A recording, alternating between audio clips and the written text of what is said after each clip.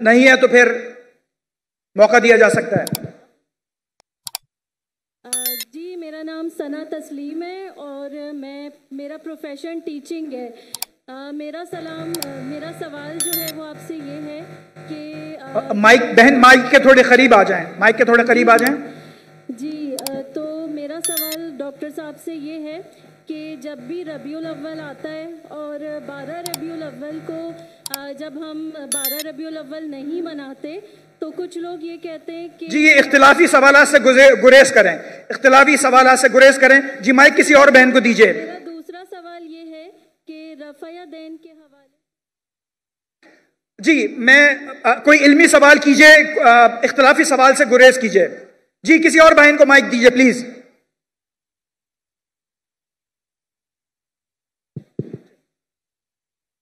Assalamu alaikum wa rahmatullahi wa barakatuhu. My name is Tahira Ghazi. I'm a, subhanallah, born and brought up from Amsterdam city. And I came, uh, subhanallah, 18 years back. I reverted to Islam. I would like to thank you, honestly, from the bottom of my heart. Jazakumullahu khairan, because my mentor is Dr. Zakir Naik. Takbir! Uh, Takbir! Takbir! Dr. Dar- Zakir Naik's uh, mentor is Sheikh Ahmed Deedat, and mine is Dr. Zakir Naik. After reverting to the beautiful religion of Islam, I have learned a lot through Peace TV, where it started all, my journey started all in Amsterdam City. Subhanallah. So my parents, uh, my whole family is from a non-Muslim family background. Uh, the question that my mother always asked me is why you Muslims always want to invite us towards uh, Islam. Why you just don't leave us alone? I tell her, my mother, my dear mother, because I love you and I want to protect you from the falsehood which you have been uh, learning. So, this is the message to all our uh, non Muslim brothers and sisters that we would love to protect them from the falsehood so they will see the truth. The truth is the beautiful revelation which was bestowed upon our, upon our messenger, Prophet Muhammad sallallahu alaihi wasallam, which is the last and final revelation, the Quran. So the question to you, Dr. Zakir, could you advise me if I have done the right thing in explaining to them that this is a falsehood and um, if this is the right thing, the right reply that I gave back to them, that I want to save them from the falsehood and I would guide them towards truth. Obviously, I'm not the guide. That is Muhammad, uh, sorry, that is Allah subhanahu wa ta'ala.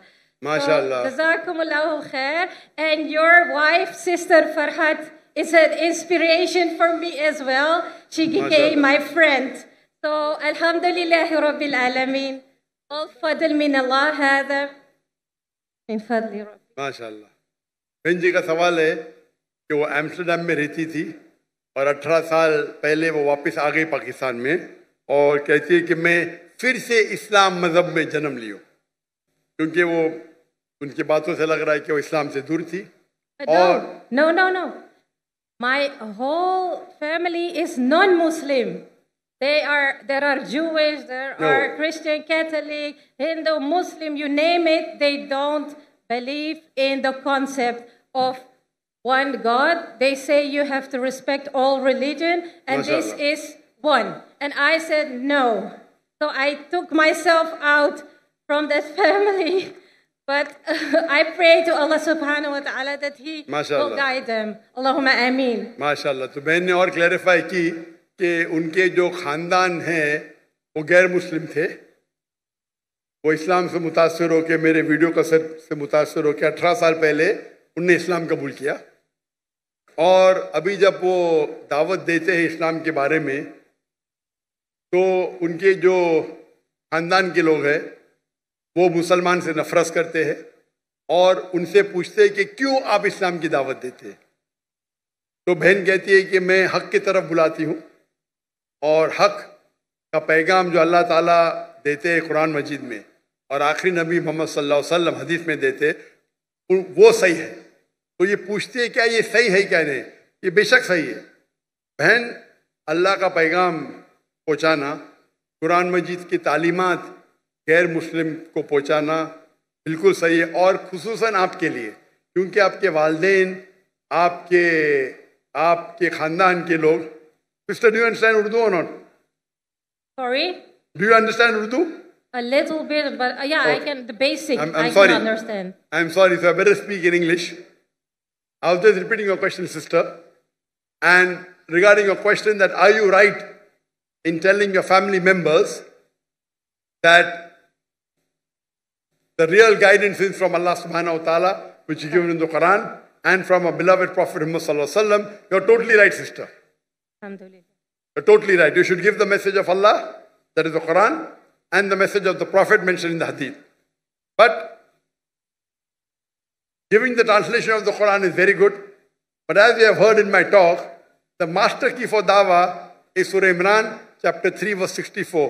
Where Allah says, Ta'alaw ila kalimatin sawa'im bainana bainakum. Come to common terms as between us and you. Which is the first term, Allah na'budu illallah. That we worship none but Allah.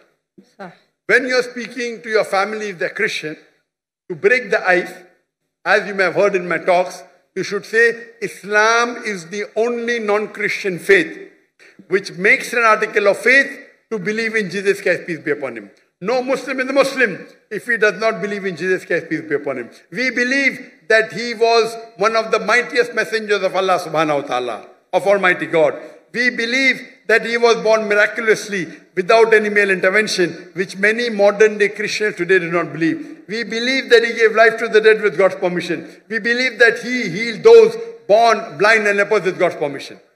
The Christians and the Muslims are going together. That is parting of faith. The parting of faith is that many Christians think that Jesus Christ, peace be upon him, claimed divinity.